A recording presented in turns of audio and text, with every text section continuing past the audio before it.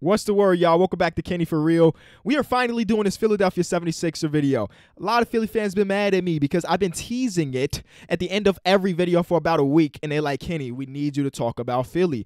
And I will. Philly, every single season, I feel like I make the same video where we try to figure out if they are contenders or pretenders before the season start. And I'll be the first to admit it. I bit last year. I had them winning the Eastern Conference. I had them going to the championship. I don't remember if I had them winning at all, but I had them on that upper echelon of NBA teams. And of course, it did not go that way. Um, first round exit, and we'll talk about all of that. And I think now I am way more wise than I was back then. Be sure to leave a like on the video. Subscribe if you're new. At 4 o'clock Eastern Time, uh, my merch is going on sale, our Called Game merch. Um, it's relevant to this channel because we'll probably rebrand this channel to Called Game. So if that sounds some, like something you're interested in, uh, it's going on pre order starting at 4, and it'll be live for a couple weeks. So if you're interested, link is in the description. Um, I'm like I was saying, I'm way more wise now than I was last year. I think last year I kind of had this idea, and I think a lot of people did when we picked Philly. It's like, sure, Tobias Harris' contract looks disgusting. Um, sure, you had to get rid of Jimmy Butler, but you got back Josh Richardson, and sure, Al Horford will probably look weird alongside Joel Embiid. But in our mind, we were like, they'll figure it out. Talent is talent, and at the end of the day, that is the only thing you really need to win basketball games, right? I'm way more wise now. I think that the overall team construction is way more important um, than just getting talent. Think about the team that won a championship this year, the Lakers. Sure, they have two of the top five, top six players in the NBA, but after that, we always question who's that third player. Who is their Who was their third best player last season? You can make the the case that it was Rondo in the playoffs, but throughout the course of the season, there was never really a third best player for their team. But at the end of the day, they put together a roster that fit well together and played well together. We saw with the with the Clippers last season. We thought that just because they brought in these two superstar level players, they already had a team that was pretty good that they'd be able to come out and win a championship. It just doesn't really work like that. There's chemistry things, there's ego things, and they need to have solidified roles, and they didn't really have that with the LA Clippers. And that's something we also found out the 76ers that you can't just put talent on the floor and think it's all going to mesh, especially when you have such a unique talent at your point guard, and that is Ben Simmons, where he is so much different than the average point guard that you need to really orchestrate a team around him that fits his strengths and and caps his weaknesses weaknesses so they made some moves this offseason. Started with firing Brett Brown, and I, I recognize that Brett Brown was super important to Philly, um, being there for the process. And I'm happy that they gave him a few years after the process to try to make his case to stay the coach. And at the end of the day, they may have uh, ran out of rope when it came to to Brett Brown, and, and they brought in Doc Rivers. I don't know how much of a better coach Doc Rivers is in 2020 compared to what Brett Brown was, but we'll figure it out. Um, just having a new coach in there will matter. And then the biggest surprise is that after Daryl Morey stepped down from the Houston Rockets about a week later, he signed to be the top guy in Philly. And we're like, yo, Daryl Morey is a dude that averages, I think the number was averages eight trades a season. In the 14 years he was with the or the Rockets, or however many years, eight eight, which means that he was about to come in and he's about to boom, break it down. Because at the end of the day, this team had bad contracts. It had just players that didn't fit together, and the the future was kind of grim. People had always brought in, do they want to trade Joel? Do they want to trade Ben Simmons? And Daryl Morey was like, not at least not yet. We're to try to put together a team that every NBA fan knows that this team should look like. Going into, like, we know that with a guy like Ben Simmons, if he doesn't have shooters around him, he's to be less effective. How the heck did I expect that team to win games when they didn't have much shooting around him? Josh Richardson, good, good shooter. Uh, Tobias Harris, good, good shooter, but like, nothing great. And they made those changes. The first thing that Daryl Morey did was an absolute amazing deal to get rid of Al Horford. I do believe that Al Horford still has a lot left in the tank. Again, the Philly mesh just wasn't really there, and I think that he can contribute. And Sam Presti may turn around and turn Al Horford to another first round pick because he's gonna do the old CP3 thing, go out next season, be solid, and some team is gonna want him. But then again, he has such a big contract and and looked so bad last season. It felt like Daryl Morey would have to throw in two to two first round picks at the least, and maybe a young asset to get rid of Al Horford. And at the end of the day, he got it done for one pick. And not only that, he got back a quality NBA player in Danny Green that fits what Philly should be wanting to do.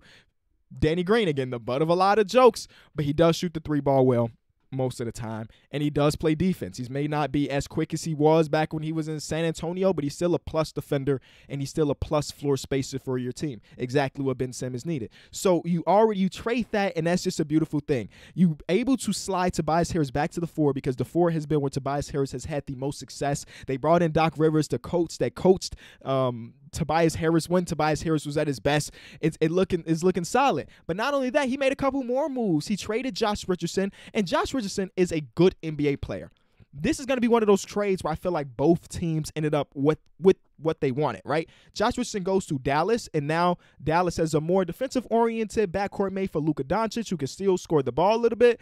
And the 76ers get shooting, like literally one of the most lethal shooters in NBA history as far as percentage goes. Um, and now they have a lineup is what I'm guessing the lineup's gonna look like. Ben Simmons, Seth Curry, Danny Green, Tobias, and Joel Embiid. And the reason I am laughing because I had saw a screenshot on Twitter of people on the jump or first take. I, I get them all mixed up where they were projecting the starting lineup for the 76ers. And they had Dwight Howard starting at the four, and it just makes me laugh. They're like, I don't know how you could go on national TV and talk about Philadelphia starting Dwight Howard at the four. How?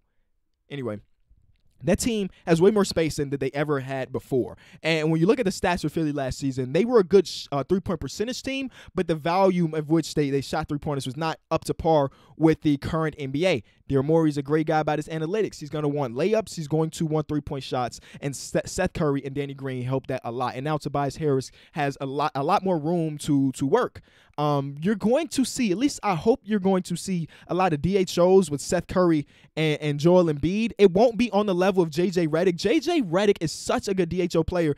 Um, and I don't think Seth Curry has that same playmaking and ball handling ability, but they should definitely definitely think about that because the most lethal thing Philly did during that run where they had the doop doop doop doop from Kawhi Leonard is when they had that dribble handoff between JJ Redick and Joel Embiid. And when listen, when you listen to them talk to each other um, on JJ Redick's podcast, JJ was like, I, I, I, will never play with a center as good as you are on those dribble handoffs. And then Joel Embiid was like, and I'll never play with a guard that's as good as that. Like they had that type of connection. And Philly fans should be hoping that Seth Curry can do the similar things to what JJ Redick did on that front. So Daryl Morey comes in, he makes these two significant trades where now the top end of your team looks different than what it did last year. And then they they actually draft really well too.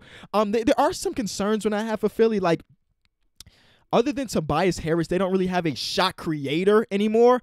Um, and I'm guessing they're going to rely on Ben Simmons being that. But obviously, Ben Simmons is limited to the what seven feet from the rim, um, at least at this point in his career. But that that would be like my main concern, and they don't have that off the bench either. I would love for them to end up with a player that can shot create off the bench.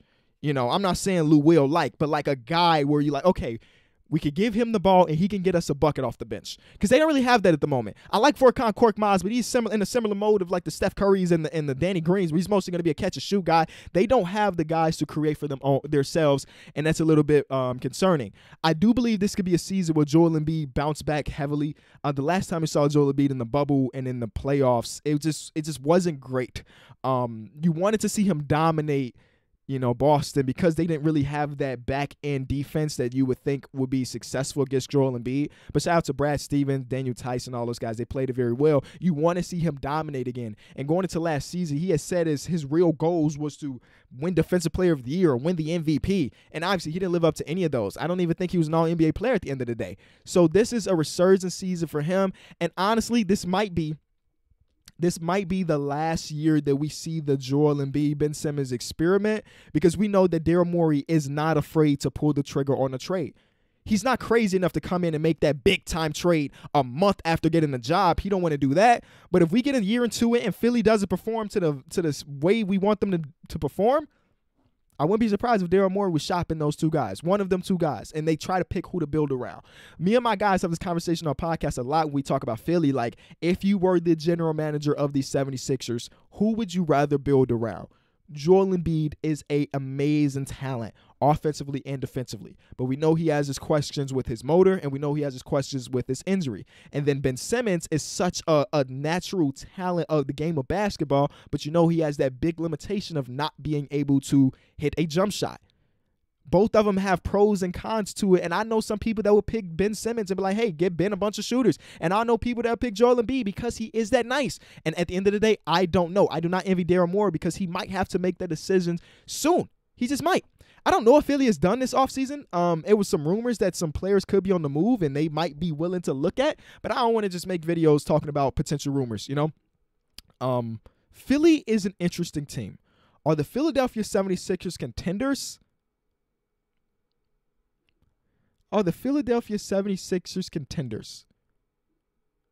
Yeah. Yeah. I, I would say yes. Um, some of the teams they will battle with in the Eastern Conference, they get worse. Maybe not that much worse, but you can't tell me Toronto losing their two big man rotation that was was very very great for them in the last couple seasons. Um, though they did replace it with the GOAT Aron Baynes, it's just like losing those two players does hurt. Um, Boston lost Gordon Hayward for nothing. Some of the top end teams got worse, and I would argue that Philly got better. So, I would say they are contenders. More than if they didn't make those changes going to the offseason, they would not be contenders in my book. But I would say they are now. Let me know what you think. Do you see Philadelphia 76ers as contenders or pretenders? All of this could change. Once I see that first night of NBA season and see how they're working with things, I may switch and be like, bro, these dudes are pretenders. Um, but again, another season where they are one of the most interesting teams in the league. Gotta love Philly, right? Be sure to leave a like, subscribe if you're new. Link in the description to the to the merch. And uh, I'll see y'all tomorrow. Peace.